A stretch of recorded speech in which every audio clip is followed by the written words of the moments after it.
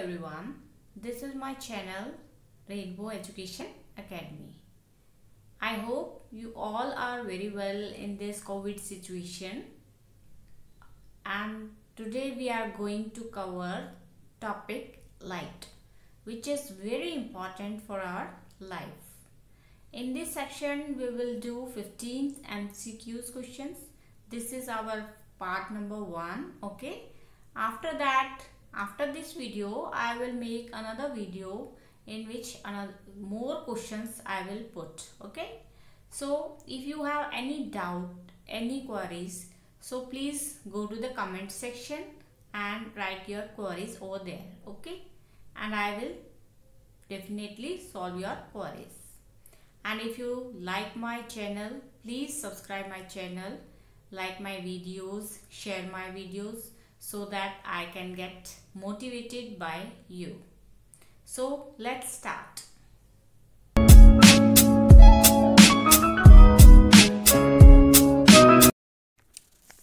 This chapter, the human eye and the colorful world. So first question is the term accommodation as applied to the eye refer to its ability to इसमें चार option हैं Control the light intensity falling on the retina. Erect the inverted image formed on the retina. Adjust the focal length of the lens. Vary the distance between the lens and retina.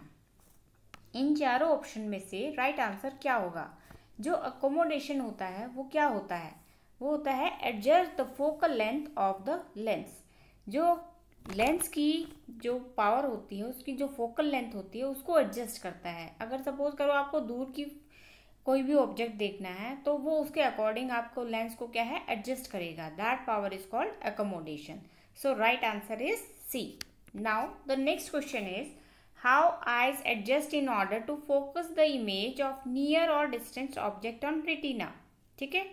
तो इसमें चार option है the lens move in और out according to the position of the object the retina move in और out according to position position of the object the lens become thicker और thinner according to the position of the object the pupil get larger और smaller according to the position of the object so right answer is C the lens become thicker और thinner according to the position of the object आपका object कहाँ place है? पास में है या दूर में है? तो उसको देखकर आपका जो है लेंस की पोजीशन जो है वो सेट होती है। ठीक है? So right answer is C now the next question is a person cannot see the distant object clearly though he can see the nearby object clearly he is suffering from the defect of vision called वो कौन सा defect होगा उसको? जो क्या है कि distant object को क्लियरली नहीं देख सकता, बल्कि वो नियरली ऑब्जेक्ट को देख लेता है। तो ऐसे ही डिज़ीज़ को हम बोलते हैं मायोपिया ठीक है? हाइपरमेट्रोपिया में क्या होता है आपको? पास की पास की जो ऑब्जेक्ट है वो क्लियरली नहीं दिखते। कैट्रैक्ट में क्या है कि आपका धुंधलापन आ जाता है, ठीक है? So right answer is myopia now the next question is a got a man got his eye tested the optician prescription for the spectacle was left eye में उसको दिखा रहा है आपको माइनस थ्री राइट आई में minus three point fifty D D है dioptre okay the person is having a defect of vision जब भी आपका माइनस का साइन में अगर डिफेक्ट आता है तो उसमें आपको होता है, उसमें आपको होता है मायोपिया ठीक है? और हाइपरमेट्रोमिया जिसमें आपको पास के ऑब्जेक्ट नहीं दिखते, उसमें जब आपका, आप चेकअप के लिए जाते हो तो जो आपको वो लिख के देता है तो आपकी जो पावर है वो पॉजिटिव में लिख के देगा। तो इसका मतलब अगर पॉजिटिव अगर आपको लिख के दे रहा है इट्स मीन आपकी पास की आइज़ जो है वो वीक है। अगर आपको नेगेटिव में लिख के देता है तो इसका मतलब आपकी दूर की आइज़ जो है वो आप अच्छे से क्लियरली से नहीं देख पाते हो। तो ये होता है आपके मायोपिया के अंदर। So right answer is B Now the next question is, a man finds it difficult to read the odometer on the dashboard of the car but is able to clearly read a district road sign. Which of the following statement is correct about this man? The near point of his eye has receded away. The near point of his eye has come closer to him. The far point of his eye has receded away. The far point of his eye has come closer to him. तो इसका right answer है the near point of his eye has receded away ठीक है? So right answer is A now the next question is with both eyes open a person field of view is about ठीक है? तो वो जो दोनों आँख जब आपकी खुली होती है तो वो कितने डिग्री तक जो है वो देख सकता है? Ninety, one fifty, one eighty या three sixty? So right answer is one eighty degree ठीक है? C is the right answer now the next question is when a beam of white light falls on a glass prism the colour of light which will deviate least सबसे कम deviate कौन सी light होती है? जैसे ये prism है, आपका, इस पर वाइट लाइट पड़ती है तो ये आगे सेवन कलर्स के अंदर जो है सेवन कलर्स के अंदर हो जाती है सेवन कलर्स में डिस्ट्रीब्यूट हो जाती है। तो आपको ये बताना है कि सबसे कम डेविएट कौन सी लाइट होती है? वॉयलेट रेड ग्रीन या ब्लू तो राइट आंसर इज़ रेड ठीक है? रेड लाइट जो है वो डेविएट लीस्ट होती है। Now the next question is the star appear shifted from their actual position due to the phenomena of diffraction of light scattering of light refraction of light या फिर reflection of light So, right answer is refraction of light. ये आप लोगों ने पढ़ा होगा, reflection of light क्या होता है? स्केटरिंग ऑफ़ लाइट क्या होता है? डिफ्रैक्शन एंड रिफ्रैक्शन रिफ्रैक्शन में क्या होता है कि द स्टार अपियर जो स्टार से आपको दूर से जो लाइट आती दिखती है तो उसका मेन रीजन है रिफ्रैक्शन ऑफ़ लाइट ठीक है? Now the next question is blue colour of the sky is due to the phenomena of reflection of light refraction of light dispersion of light या फिर स्कैटरिंग ऑफ़ लाइट ये इसमें आपका right answer होगा scattering of light क्योंकि जब भी वो वाइट लाइट पड़ती है तो क्या है कि जो ब्लू कलर होता है, वो पूरा स्कैटर हो जाता है, जिसकी वजह से आपको स्काई जो है वो ब्लू दिखाई देता है. Now the next question is which of the following figure correctly represent the passage of white light through prism अब आपको चार ऑप्शन गिवन है। इसमें से आपको बताना है कि कौन सा जो है सही से है। फ़र्स्ट में देखो व्हाइट लाइट है रेड एंड वॉयलेट फिर आपके आता है वॉयलेट एंड रेड दे रखा है। फिर आपका यहाँ पे देखा, यहाँ पे कुछ भी नहीं दिखा रखा है। इन्होंने सिर्फ़ पाथ ऑफ़ लाइट दिखा रखा है।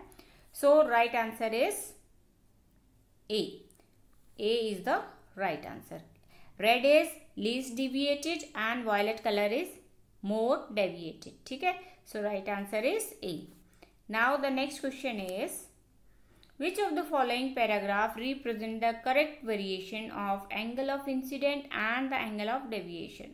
ठीक है इसमें से चारों में से आपको कौन सा लग रहा है ग्राफ की बिल्कुल सही होगा इसमें आपका the right answer is A A is the right answer now the next question is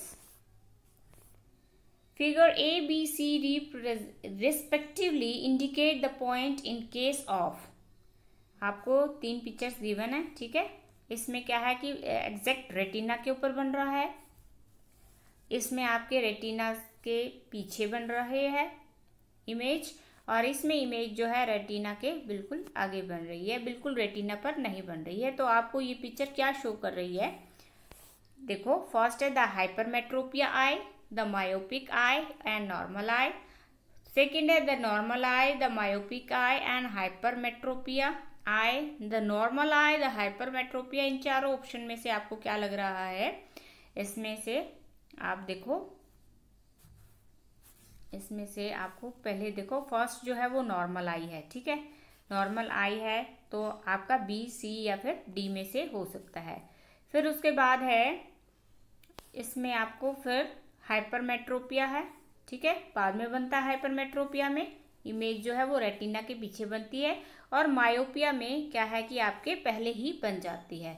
So right answer is C C is the right answer okay now next question is in which of the following cases will no depression take place when sunlight passes through it तो इसमें देखो, पहले आपको prism दिखा रखा है, slab दिखा रखी है फिर प्रिज्म उल्टा दिखा रखा है, फिर प्रिज्म आपको थोड़ा सा टेढ़ा कर दिया तो इसमें से आपका क्वेश्चन क्या है? In which of the following cases will no dispersion किसमें डिस्पर्शन नहीं होता?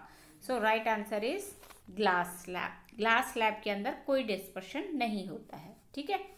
Now the next question is इसमें दो आपको देखिए स्टेटमेंट आपको बतानी है कि क्या दोनों ट्रू है या दोनों फॉल्स है, या इसमें से एक ट्रू है, दूसरी फॉल्स है। फ़र्स्ट है astigmatism usually is caused by an irregularly shaped cornea and B जो है स्टेटमेंट है rainbow is a natural phenomena in which dispersion take place अब आपको ये बताना है कि आइए दोनों स्टेटमेंट ट्रू है, या दोनों फॉल्स है, या ए ट्रू है बी फॉल्स है, या फिर ए फॉल्स है और बी ट्रू है। तो इसमें राइट right आंसर क्या है कि दोनों की दोनों स्टेटमेंट आपकी ट्रू है। So A is the right answer right now the last question having two eyes facility in first है increasing the field of view B है bringing three dimensional view C है developing the concept of distance और size आपको बताना है then the correct option is A only A and B only B only या फिर A B and C only तो तीनों की तीनों ऑप्शन जो है वो करेक्ट है. So right answer is D ये दो क्वेश्चन जो है वो अजर्शन टाइप क्वेश्चन है। इस इस टाइप के आपके एग्ज़ाम में पाँच क्वेश्चन जो है इनसे रिलेटेड आएँगे। तो इनके लिए मैं एक अलग से वीडियो भी बनाऊँगी। ये अभी पार्ट वन है। सेकंड पार्ट जो है इस वीडियो के बाद बनाऊँगी और उसका लिंक मैं आपको इस वीडियो के नीचे या फिर जब वो वीडियो बनाऊँगी तो उस वीडियो के नीचे आपको डिस्क्रिप्शन बॉक्स में इनका लिंक दे दूँगी। अगर आपको मेरी ये वीडियो अच्छी लगी हो तो प्लीज़ लाइक करना शेयर करना and subscribe my channel also और नोटिफिकेशन में ऑल को प्रेस करना सो दैट कि मेरी वीडियोस का नोटिफिकेशन आपको टाइम टू टाइम मिलता रहे. Thank you so much